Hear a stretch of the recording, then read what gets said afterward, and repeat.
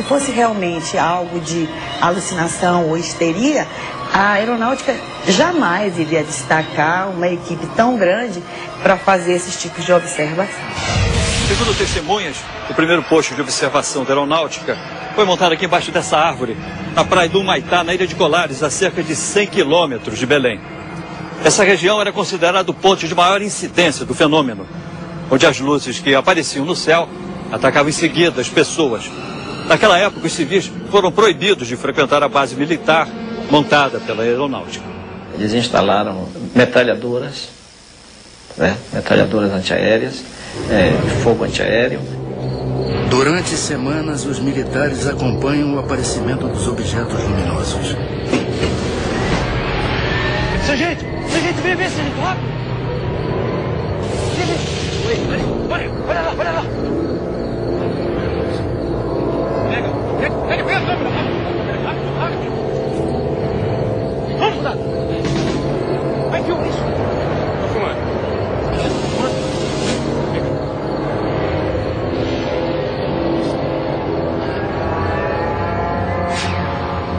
20 anos que eu converso com pessoas que dizem que têm contatos com, seres né, que se dizem é, extraterrestres. Né?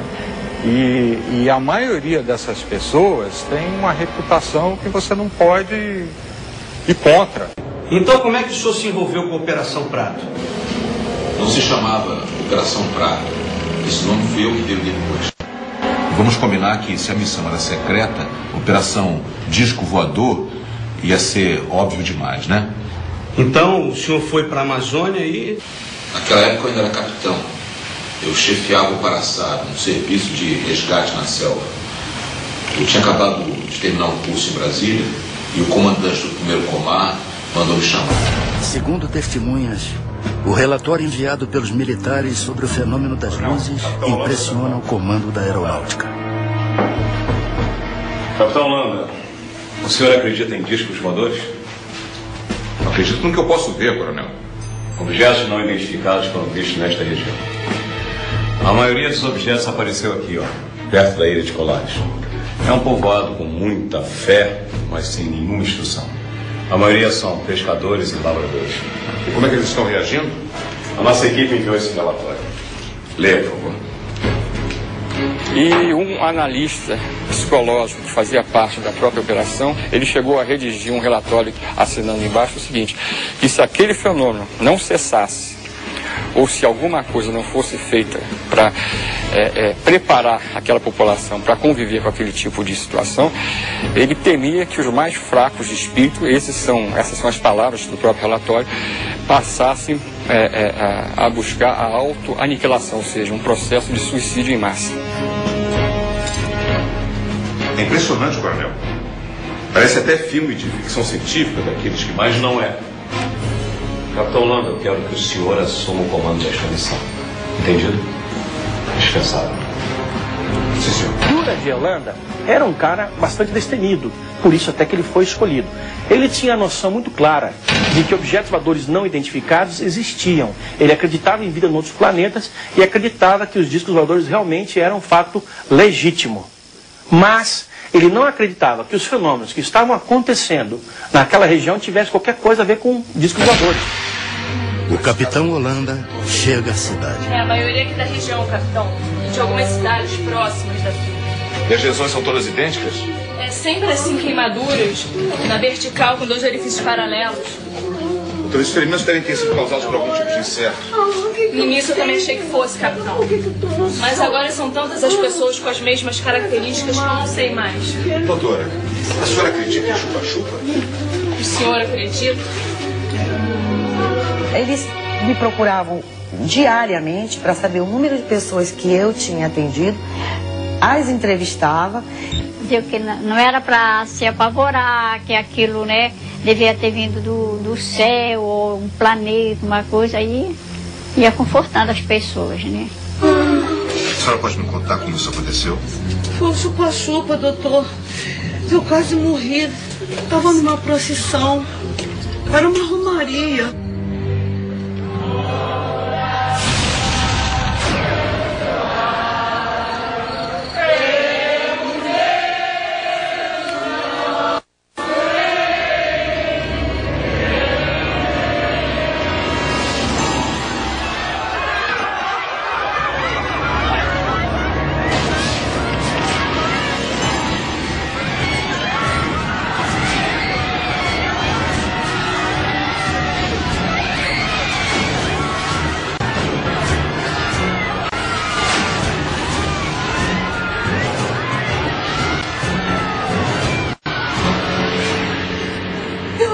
Moço. Doutor, me salva, me salva. Os sargentos que estavam na operação, eles brincavam muito comigo porque eu sempre dizia que não acreditava naquilo. Capitão, O que é isso, doutor? o povo acende fogueiras e grita pra se defender. Eles acham que assim estão espantando os discos voadores. Bobagem, não há nenhum disco voador.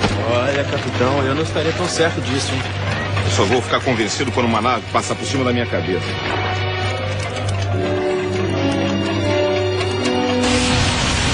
A equipe de observação comandada pelo capitão Holanda era formada por mais de 60 pessoas, entre militares do serviço secreto, médicos e até psicólogos, que vieram à cidade com o objetivo de acalmar a população. Nesse local, a chamada Praia do Machadinho, o capitão Holanda viveu uma experiência que o marcaria pelo resto da vida.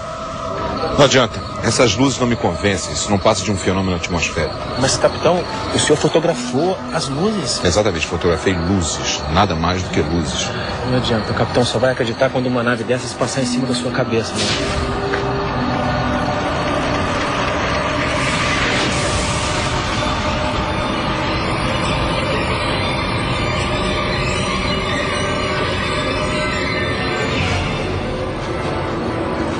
Estava em cima de nós um objeto muito grande, acredito que uns 30 metros de diâmetro, forma discoide preto. Nós ficamos olhando, estupefatos, assustados, parado em cima da gente, a uns 200 metros de altura. O que eu vi não tinha me satisfeito até aquele momento. Dali para frente não tinha mais dúvida nenhuma. Alô, alô, capitão? Sim, sargento. Um vigia daquela olaria que fica ali perto do rio. E ele tá me contando uma história que eu acho importante o senhor ouvir. Tô aqui na cidade, vou pegar um depoimento. Capitão, o senhor me desculpe, mas eu acho que é importante o senhor ouvir. Coloca ele então no rádio. Pois não, vou passar pra ele. Pode falar normalmente, me conta aquela história. Seu Luiz, o que o senhor tem para me contar? Eu estava na beira do rio quando eu vi uma paca. Aí, capitão, me ajeitei para caçar bichinho.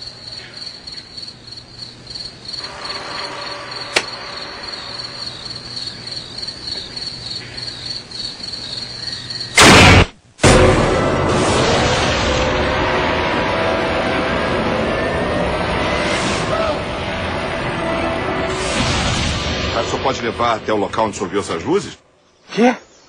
E lá outra vez, capitão? Nós tivemos oportunidade de chegar a uma pessoa que tinha tido um avistamento impressionante. Os agentes entraram para tomar um café e comer uma bolacha, alguma coisa lá, antes de entrar no barco para a gente ir para a missão. E eu, como chefe da missão, não podia me dar essas mordomias. Eu fiquei olhando fora, vendo o ambiente.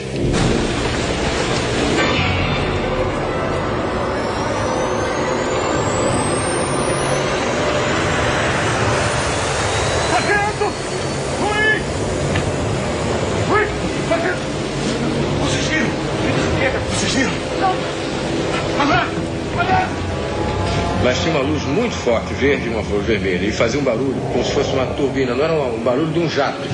Era aquele silvio, um barulho assim. E ele mergulhou em cima de onde nós estávamos, na casa onde nós estávamos. Nenhum piloto faria uma coisa dessa por ser morte, certo? O capitão Holanda vai ao lugar onde o vigia teria visto o fenômeno e fica decepcionado.